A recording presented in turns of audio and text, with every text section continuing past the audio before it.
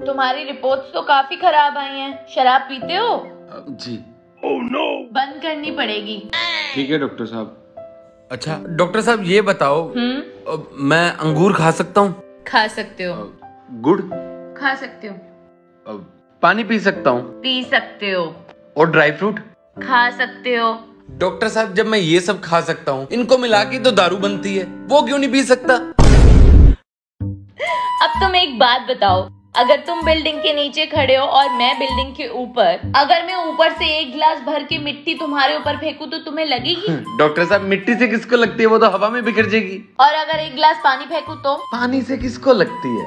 और अगर पानी और मिट्टी को मिला के उसे पका के उसकी ईंट बना के फेंकू तो? समझ गया। गुड